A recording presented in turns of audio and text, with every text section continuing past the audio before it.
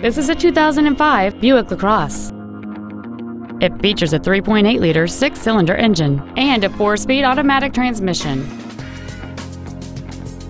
Its top features include cruise control, full power accessories, an external temperature gauge, a six-speaker audio system, leather seats, four-wheel independent suspension, aluminum wheels, OnStar, a CD player, and this vehicle has fewer than 62,000 miles on the odometer.